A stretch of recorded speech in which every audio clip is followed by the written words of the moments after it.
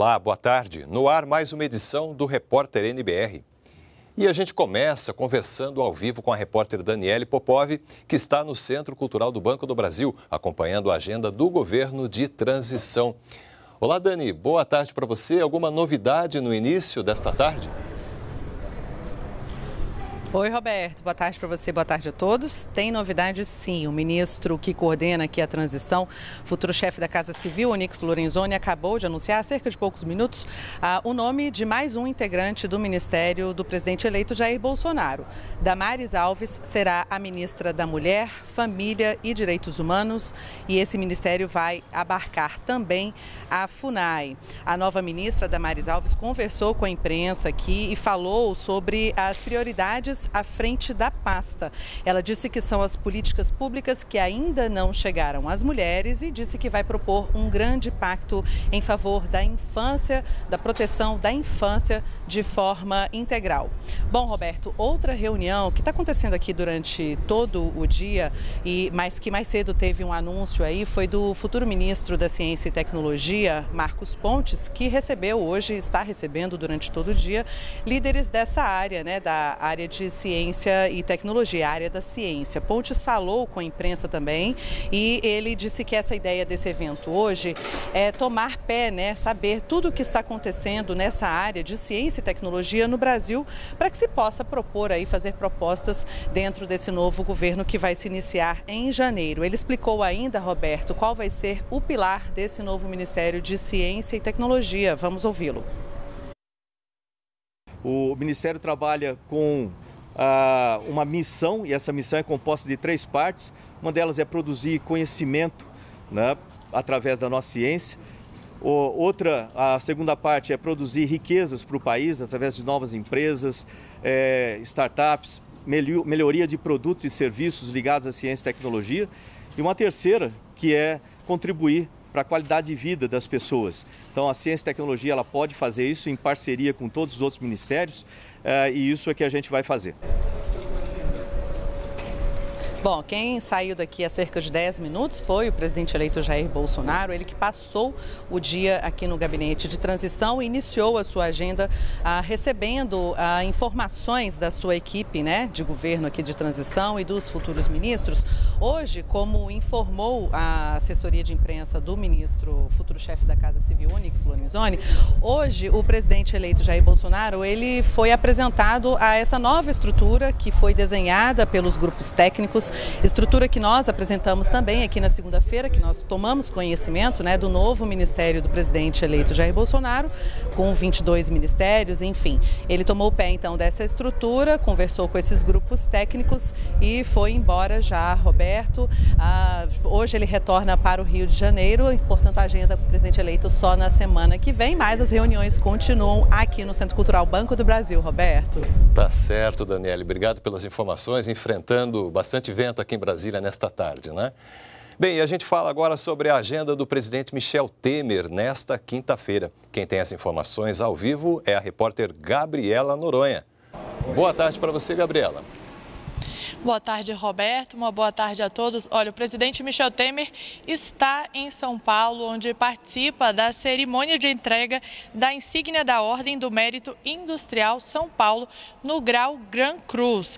O grau Gran Cruz é o nível raramente reservado a grandes autoridades, como no caso do presidente da República. Depois dessa cerimônia, Michel Temer participa do lançamento do livro Direito Empresarial, Direito do Espaço Virtual e outros desafios do direito. Uma homenagem ao desembargador Newton de Luca. E a NBR vai transmitir esse evento ao vivo às 18h30. Volto com você no estúdio, Roberto. É isso mesmo, transmissão ao vivo aqui. Gabi, obrigado pelas informações. Refugiados podem se inscrever para cursos de graduação na Universidade Federal do Triângulo Mineiro. São 23 vagas. As inscrições vão de 7 a 30 de janeiro de 2019. O processo é válido para o primeiro semestre letivo do ano que vem. Para participar, o candidato deve comprovar a condição de refugiado por meio de atestado emitido pelo Comitê Nacional para os Refugiados, o CONARE. Além disso, é exigido o certificado de conclusão do ensino médio ou equivalente. A classificação dos concorrentes será definida de acordo com as notas obtidas em uma das últimas cinco edições já finalizadas do Exame Nacional do Ensino Médio, o Enem. Mais informações nessa página que aparece aqui na tela. A partir do próximo sábado, celulares irregulares começam a ser bloqueados em mais 10 estados. Mensagens com avisos para os usuários já estão sendo enviadas desde o mês de setembro. Celulares considerados irregulares são aqueles que não oferecem qualidade e segurança exigidas pela regulamentação brasileira. São aparelhos sem certificação que podem colocar em risco os usuários e a própria rede de telefonia. De setembro até agora, cerca de 100 mil celulares desse tipo foram bloqueados no Distrito Federal e em Goiás. Agora, a partir do próximo sábado, os aparelhos irregulares também serão bloqueados nos estados do Acre, Espírito Santo, Mato Grosso, Mato Grosso do Sul, Paraná, Rio de Janeiro, Rio Grande do Sul, Rondônia, Santa Catarina e Tocantins.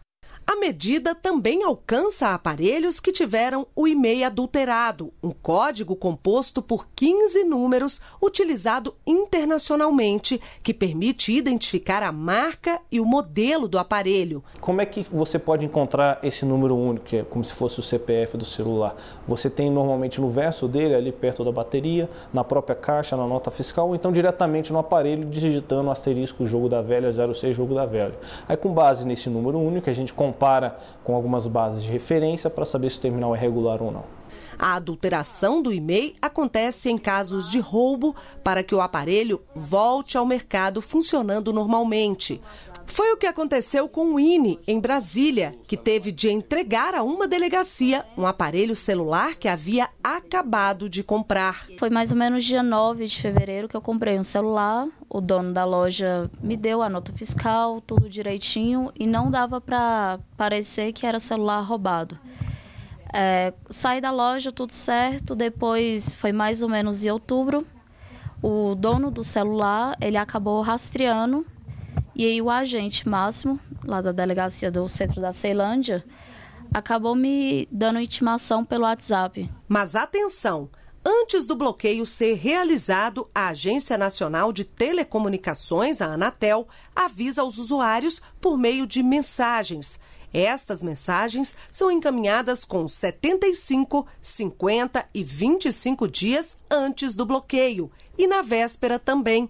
Desta forma, o cliente tem tempo para procurar os seus direitos de consumidor com a empresa ou a pessoa de quem comprou o aparelho. De forma geral, não tem como regularizar esse equipamento, porque, como eu falei, é um terminal que veio de roubo, que foi adulterado, ou então que não respeita as regras de segurança do usuário. Qual que é a orientação? É que busque quem fez a venda desse equipamento, que é um equipamento com vício, né? Aí o CDC, nesse caso, ampara esse usuário e ele tem o direito de ou, ou obter um equipamento que seja regular, de acordo com a legislação brasileira ou obter o ressarcimento do valor. Nós ficamos por aqui. Você acompanha a nossa programação ao vivo pelo site da NBR e todas as reportagens estão em nosso canal no YouTube. Acesse também o nosso perfil no Twitter e você pode ainda mandar sugestões de reportagens ou dúvidas sobre programas e ações do governo federal para o nosso WhatsApp. O número é este aqui, ó, 61 99867 8787. Uma boa tarde para você e continue com a gente aqui na NBR, a TV do Governo Federal.